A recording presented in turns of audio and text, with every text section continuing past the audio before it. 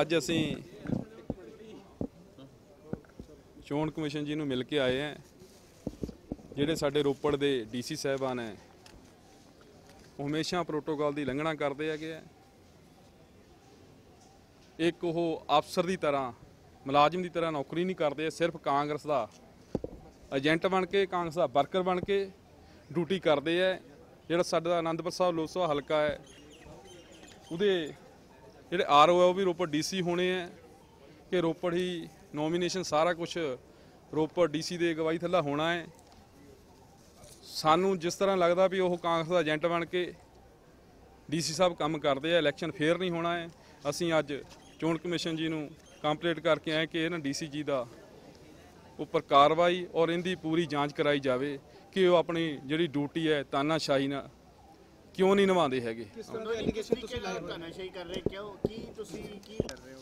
Sir ਉਹ ਜਿੱਥੇ ਵੀ MLA ਦਾ ਕਦੇ ਵੀ ਕੋਈ ਫਰਜ਼ ਹੁੰਦਾ ਹਮੇਸ਼ਾ ਅਸੀਂ ਉਹਨਾਂ ਨੂੰ ਪ੍ਰੂਫ ਦੇ ਕੇ ਆਏ ਆਂ ਵੀ ਸਾਰਾ ਉਹ ਹਾਰੇ ਹੋਏ ਬੰਦਿਆਂ ਨੂੰ ਕਿਤੇ ਵੀ ਐਮਐਲਏ ਨੂੰ ਬੁਲਾਉਂਦੇ ਨਹੀਂ ਹੈਗੇ ਨਾ ਐਮਐਲਏ ਨੂੰ ਐਮਐਲਏ ਮੰਨਦੇ ਹੈਗੇ ਆ। ਉਹ ਕਹਿੰਦੇ ਮੇਰੇ ਵਾਸਤੇ ਹਾਰੇ ਹੋਏ ਜਿਹੜੇ ਬੰਦੇ ਆ ਉਹੀ ਐਮਐਲਏ ਹੈਗੇ ਤੁਸੀਂ ਐਮਐਲਏ ਨਹੀਂ ਹੈਗੇ ਆ।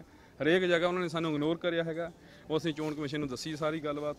ਔਰ ਜਿੱਥੇ ਕੋਈ ਕੋਈ ਇਸ ਤਰ੍ਹਾਂ ਦਾ ਵਾਕਿਆ ਹੋਇਆ ਕਿ ਜਿਹੜੀ ਕੰਪਲੇਂਟ ਤੁਸੀਂ ਲੈ ਕੇ ਆਏ ਹੋ ਕੀ ਕੰਪਲੇਂਟ ਕੀ ਹੈ? ਕੰਪਲੀਟ ਇਹ ਹੈ ਇਲੈਕਸ਼ਨ ਤੋਂ ਪਹਿਲਾਂ ਸਾਰੇ ਜਿੰਨੇ ਵੀ ਕੋਈ ਉਦਘਾਟਨ ਹੋਏ ਹੈ ਕੋਈ ਚੈੱਕ ਵੰਡਵਾਏ ਹੈ ਜਾਂ ਕਿਤੇ ਵੀ ਡੀਸੀ ਨੇ ਸਾਨੂੰ ਇੱਕ ਵਾਰ ਵੀ ਬੁਲਾਇਆ ਨਹੀਂ ਹੈਗਾ ਨਾ ਆਪਣੇ ਵੱਲ ਤੇ ਇਨਫੋਰਮੇਸ਼ਨ ਦਿੱਤੀ ਹੈਗੀ ਹੈ। ਹਮੇਸ਼ਾ ਹੀ ਸਾਨੂੰ ਹਰ ਜਗ੍ਹਾ ਇਗਨੋਰ ਕਰਦੇ ਰਹੇ ਇਸ ਕਰਕੇ ਅਸੀਂ ਉਹਨਾਂ ਨੂੰ ਕਿਹਾ ਕਿ ਉਹ ਸਾਡੇ ਜਿਹੜਾ ਇਲੈਕਸ਼ਨ ਹੈ ਉਹ ਫੇਅਰ ਨਹੀਂ ਕਰ ਸਕਦੇ। ਇਹਨਾਂ ਨੇ ਫਿਰ ਕੀ ਆਸ਼ਵਾਸਨ ਦਿੱਤਾ? ਇੱਕ ਹੈ?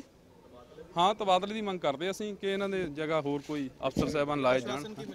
ਵਿਸ਼ਵਾਸ ਉਹ ਕਹਿੰਦੇ ਜ਼ਰੂਰ ਅਸੀਂ ਇਹਨਾਂ ਤੇ ਕਾਰਵਾਈ ਕਰਾਂਗੇ ਔਰ ਉਹਦੀ ਜਾਂਚ ਕਰਾਂਗੇ। ਦੇਖੋ ਫ੍ਰੀ ਐਂਡ ਫੇਅਰ ਇਲੈਕਸ਼ਨ ਜਿਹੜੀ ਇਦਾਂ ਪੋਸੀਬਲ ਹੀ ਨਹੀਂ ਹੈਗੀ। ਜਿਵੇਂ ਪਿੱਛੇ ਪੰਚਾਇਤਾਂ ਦੀ ਗ੍ਰਾਂਟਾਂ ਵੰਡਣੀਆਂ ਸੀਗੀਆਂ। ਇੱਕ ਪ੍ਰੋਟੋਕੋਲ ਹੈ ਕਿ ਇਹ ਐਮਐਲਏ ਨੇ ਉੱਥੇ। ਪ੍ਰੋਟੋਕੋਲ ਦੇ ਮੁਤਾਬਿਕ ਇੱਕ ਡੀਸੀ ਨੂੰ ਉੱਥੇ ਐਮਐਲਏ ਨੂੰ ਇਨਵਾਈਟ ਕਰਨਾ ਹੀ ਹੁੰਦਾ। ਪਰ ਉੱਥੇ ਕਿਉਂ ਕੌਣ ਆ ਕੇ ਚੈੱਕ ਵੰਡ ਗਿਆ? ਬਰਿੰਦਰ ਢਿੱਲੋਂ। ਜਿਹੜਾ ਇੱਕ 25000 ਵੋਟਾਂ ਤੋਂ ਹਾਰਿਆ ਹੋਇਆ ਬੰਦਾ 8 ਮਹੀਨੇ ਪਹਿਲਾਂ ਡੀਸੀ ਸਾਹਿਬ ਨੂੰ ਸਪੈਸ਼ਲੀ ਆ ਕੇ ਰੋਪੜ 'ਚ ਇਹਨਾਂ ਦੇ ਸਿਰ ਤੇ ਬਿਠਾਇਆ ਗਿਆ ਤਾਂ ਕਿ ਉਹ ਸਿਰਫ ਤੇ ਸਿਰਫ ਕਾਂਗਰਸ ਦੀ ਹਮਾਇਤ ਕਰੇ।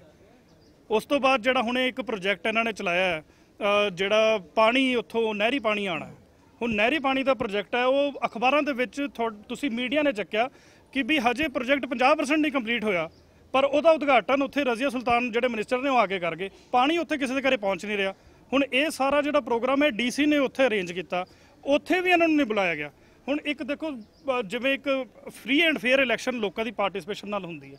ਇਹੋ ਜਿਹੇ ਡੀਸੀ ਦੇ ਅੰਡਰ ਇੱਕ ਫ੍ਰੀ ਐਂਡ ਫੇਅਰ ਇਲੈਕਸ਼ਨ ਹੋ ਹੀ ਨਹੀਂ ਸਕਦੀ। ਖਾਸ ਕਰ ਇਹੋ ਜਿਹਾ ਡੀਸੀ ਜਿਹੜਾ ਹੁਣ ਰਿਟਰਨਿੰਗ ਆਫੀਸਰ ਵੀ ਬਣੂਗਾ।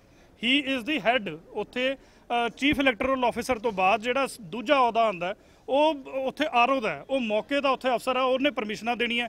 ਕੱਲ ਨੂੰ ਜੇ ਸਾਡਾ ਉੱਥੇ ਕੋਈ ਜਲੂਸ ਉੱਥੇ ਕੱਢਣਾ ਹੋਇਆ, ਕੋਈ ਮਾਰਚ ਕੱਢਣਾ ਹੋਇਆ, ਤੇ ਉਹ ਜੇ ਕਾਂਗਰਸ ਦੇ ਨਾਲ ਕਲੈਸ਼ ਕਰੂਗਾ, ਉਨ- ਉਸ ਰੂਟ ਨੂੰ, ਉਹਨੇ ਸਿੱਧਾ ਜਾ ਕੇ ਕਾਂਗਰਸ ਨੂੰ ਉਹਨੂੰ, ਉਹਨੇ ਪ੍ਰੈਫਰੈਂਸ ਦੇ ਦੇਣੀ ਹੈ। ਹੁਣ ਇਹੋ ਜਿਹੇ ਮਾਹੌਲ ਦੇ ਵਿੱਚ ਫ੍ਰੀ ਐਂਡ ਫੇਅਰ ਇਲੈਕਸ਼ਨ ਜਿਹੜੀ ਪੋਸੀਬਲ ਨਹੀਂ ਹੈਗੀ। ਤਾਂ ਕਰਕੇ ਅਸੀਂ ਬੇਨਤੀ ਕੀਤੀ ਹੈ ਐਂਡ ਸਾਨੂੰ ਆਸ਼ਵਾਸਨ ਵੀ ਦਿੱਤਾ ਇਲੈਕਟੋਰ ਚੀਫ ਇਲੈਕਟੋਰਲ ਸਾਹਿਬ ਨੇ ਸੀਓ ਸਾਹਿਬ ਨੇ ਕਿ ਉਹ ਇਹਦੇ ਵਿੱਚ ਦੇਖਣਗੇ, ਉਹਨਾਂ ਨੇ ਜਵਾਬ ਤਲਬੀ ਕਰਨੀ, ਉਹਨਾਂ ਨੇ ਸਾਨੂੰ ਵਿਸ਼ਵਾਸ ਦਿਵਾਇਆ। ਐਂਡ ਜੇ ਉਹਨਾਂ ਨੂੰ ਲੱਗੇਗਾ ਵੀ ਕਿ ਵੀ ਹਾਂਜੀ ਸਾਡਾ ਕੇਸ ਠੀਕ ਹੈ, ਜੋ ਵਾਕਿਆ 'ਚ ਹੈ, ਕਿਉਂਕਿ ਅਸੀਂ ਤੱਥਾਂ ਦੇ ਬਿਨਾਂ ਤੇ ਤੱਥਾਂ ਦੇ ਬੇਸ ਦੇ ਉੱਪਰ ਗੱਲ ਕੀਤੀ ਹੈ, ਤੇ ਉਹ ਕਹਿੰਦੇ ਅਸੀਂ ਉਹਨੂੰ ਟਰਾਂਸਫਰ ਵੀ ਕਰਾਂਗੇ।